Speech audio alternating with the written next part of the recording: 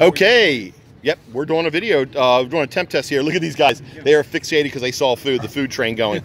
All right, so let's introduce these two beauties. This is Harry. Harry is 1763803.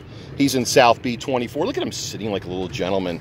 Harry is a confiscate case. Wow, we don't see many of that. Well, we do see too many of those, but over in South, he came in on the 19th.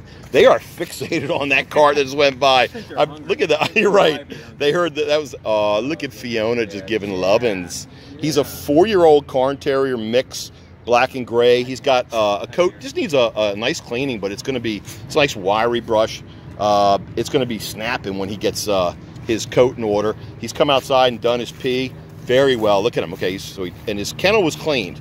Uh, he was very easy to approach when I went to the kennel and called his name. He immediately came up to me to the front of the kennel, put some treats through the slat. He took him very gingerly, and when it was time to leash him up, I put the leash in there. He came right out, and he's been bouncing since. So no issues whatsoever, and does appear to be uh, house trained because he had his kennel was cleaned, and he's already gone to the bathroom since he's been outside.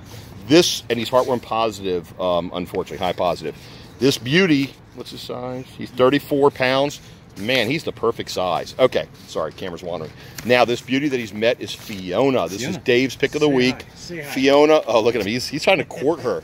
Hi there, Harry. Fiona's a, a pretty look boxer, mixed girl. Yeah, she's been smiling since she's look been out here. Fiona is 175, uh, 6716 owner surrender. And she's been she's one of our longer residents here in south. She's been here since may 2nd so we're going to have to keep an eye on her. I'm a little concerned about that. That's a long date to be here considering that we're about to be june um, it's coming up next week. So she's unfortunately heartworm positive as well. She's a nice 45 pounds. So she's got about 10 pounds on him although they look very similar in stature. They have uh, done great nose to noses they've done great sniffs.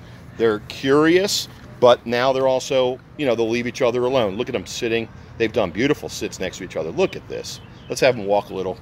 Let's take them on a little walk. Come on. Go, you want to walk with your new uh, your new boyfriend and girlfriend? Look at that. Say hi to Harry. There's Harry.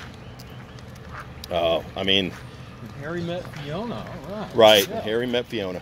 You know, this is just amazing when you see dogs that have literally just met, uh, and then they're just so comfortable with each other in a matter of minutes. It's a beautiful day out here. It's nice and quiet. The weather's gorgeous and they're just happy to have this companion to walk side by side with. Look at this. Love it, love it. Uh, no, no inappropriate behavior, just the exact opposite, actually. These dogs look like they came in together. Hi. What do you think, Harry? You got good taste, brother. She's beautiful. All right. Uh, look at him. He's gone to the bathroom several times. Okay, good. This is our man, Harry. This is our beautiful girl, Fiona. Let's get them marketed and get them out of here so we'll get them safe. All right, awesome.